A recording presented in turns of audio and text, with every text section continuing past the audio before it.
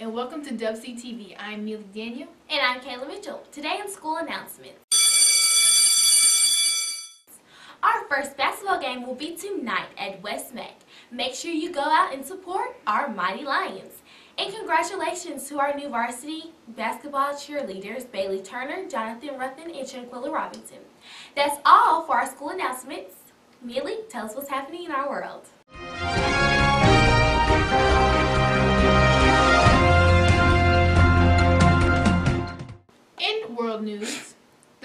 Of Thomas Eric Duncan, a Liberian national who died of Ebola at a Texas hospital, has reached a confidential settlement with Texas, with Texas Health Resources, according to family attorney Mo Collins. Last week, Mo Collins was honored with the award of Best Coach of the Year. Well, that's all in our world announcements. Kayla, what's up next? A part of our birthday segment, we want to say happy birthday to Kaylee Dang. She turned 17 last Sunday. And happy belated birthday to my dear teacher, Miss Simmons.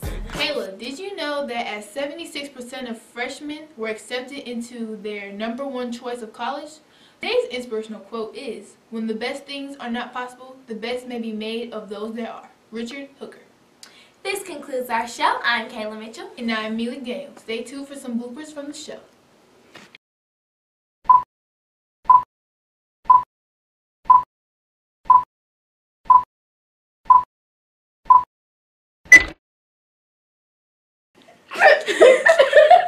Okay. Catholic. Oh, yes, no. You gotta bring it up like that. Catholic. Like the serious sports, you know. In other world news, You guys are evil. You're just like other world. Remember how you did it that time? oh yeah. You Act like you don't care. Okay. In other world news. I didn't think We She took a Serious. long pause.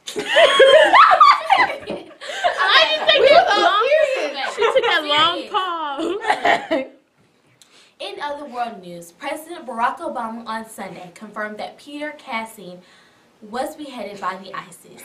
Cassing was taken from us in an act of pure evil by a terrorist group that the world rightly associates with inhumanity.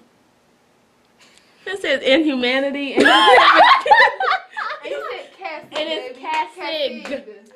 What'd you say? In humility? Uh, for the party at. How did we start it? Good morning. Good morning and welcome to Dub CTV. I am Brianna Ardrey. And I'm Kayla Mitchell on this wonderful Wednesday. Our soccer team takes on AL Brown. We wish them good luck. Today, no, tomorrow, oh gosh, Tomorrow. just start it over. we ain't gonna get done. I don't know why I thought.